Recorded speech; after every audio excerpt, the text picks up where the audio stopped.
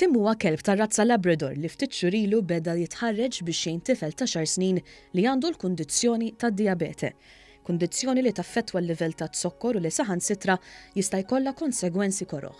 Ritienne Piscopo, omm it-tifel, spjegat l-importanza ta' kelb bħal Tim għall-binha, għaliex mhux l-ewwel darba li Tim javża lill-binha li jrid jiċċekkja l-livell taz-zokkor. Huwa parti importanti ħafna mill-ħajja tat-tifel u mill-ħajja tagħna, għaliex kontinwament qed jgħinna nieħdu ħsieb it-tifel u t-tifel qed jieħu jgħinu jieħu ħsieb tiegħu innifsu aktar.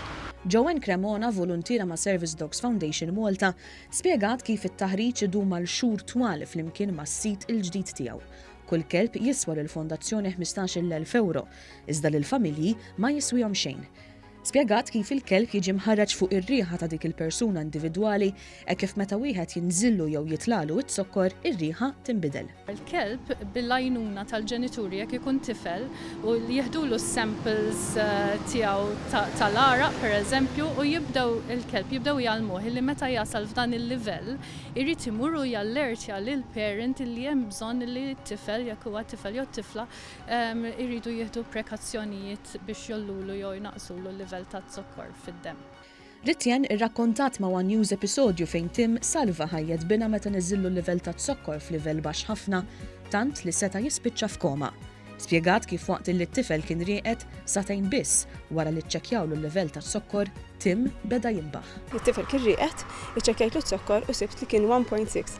1.6 huwa baxx immens li jekk itħallih, it-tifel jista' jmur f'koma u jkun hemm konsegwenzi koroh ħafna.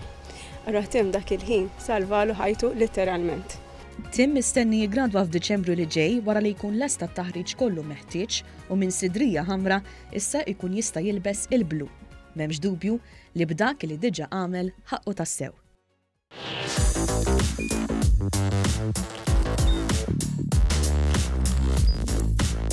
Idħol fuq one.com.mt u hemmhekk tista' tara l-programmi kollha li jxandru fuq One permezz ta' One Play.